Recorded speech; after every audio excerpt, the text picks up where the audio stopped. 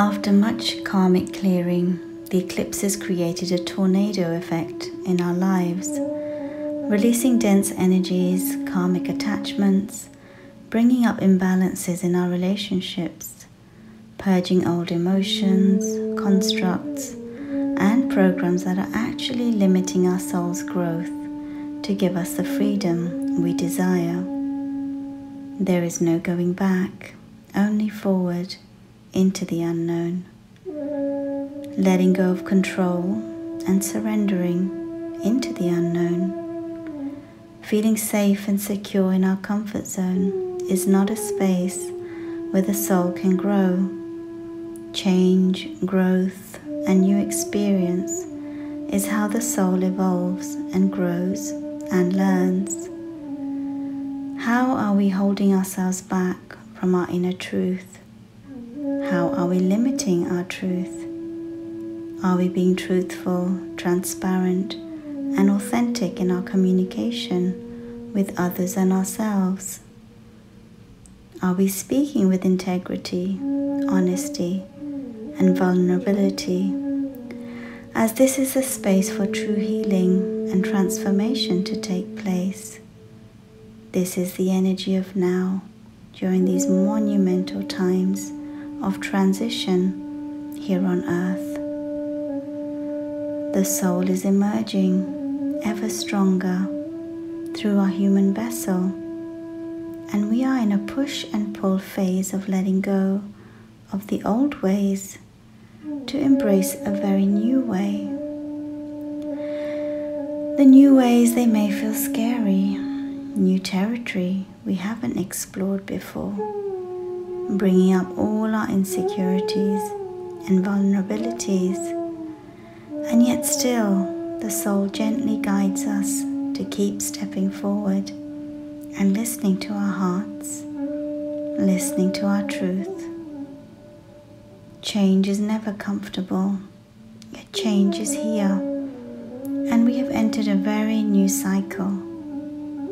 Through the chaos and confusion, clarity does come, and we will get lots of clarity and aha moments and deeper revelations this August of what is unfolding in our lives and why we had to release what we did to make space for what's about to emerge. We are evolving, growing, and birthing something very new, and labor pains are incredibly painful. But what comes after are the miracles of life. Beyond the illusion of pain and suffering, there is deep love, connection, beauty, magic, and life.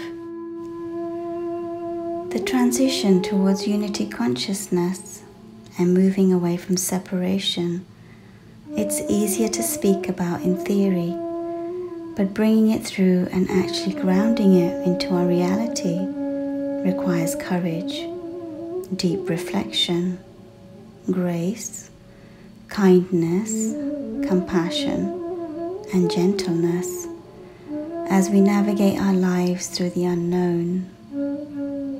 Meditation is a great tool to use during these times to take you out of your situation to become the bird on the branch of a tree and the observer.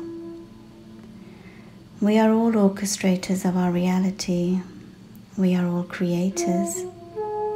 What have we come to learn? How can we let go of attachment so that we can move beyond suffering? Life will bring us many challenges to help us grow. We cannot stay in the same size pot and wonder why life has not flowed. We must also repot our soil to grow into the expanded version of ourselves, ever closer to our true selves. The soul is learning, the soul is growing, we are evolving and birthing something very new. We are the writers of the script, and we will leave our legacy for generations to come of how we liberated ourselves to become our true selves, transparent, whole, and pure, to become all soul. The golden age, we have talked about this for so long, and here we are. We are in it, building new structures of love, compassion, community, and care. We are uniting, yet still in our human form, experiencing separation, but desiring unity within. Torn between separation and oneness, moments of overwhelming feelings of love, and then logic kicks in. Sometimes not having a clue what's going on, but continually surrendering to the process and taking one step and one day at a time. We are moving towards a new consciousness beyond anything we have known. We encourage you to keep going, for love is the key that opens all the locks. Love is the key in the language of the heart. It whispers gently, reassuring us that all is well, and yet the mind fears stepping forward into the unknown. Navigate one step at a time, one day at a time, towards a new horizon beyond the veil.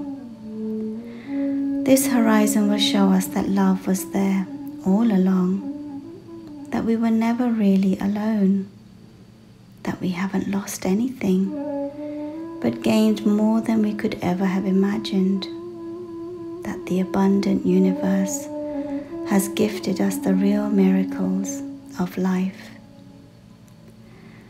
If only I could avoid the pain, says the human. But, dear one, the pain is what opens the heart. It cracks open the heart so deeply, and there lies the sweet nectar, pure and sweet, unconditional love. It is the brave ones who embark on this journey.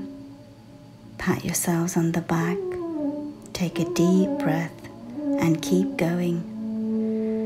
And before you know it, you will see the greater tapestry unfolding before your very own eyes. We send you our blessings. We send you our love. We are the family of light.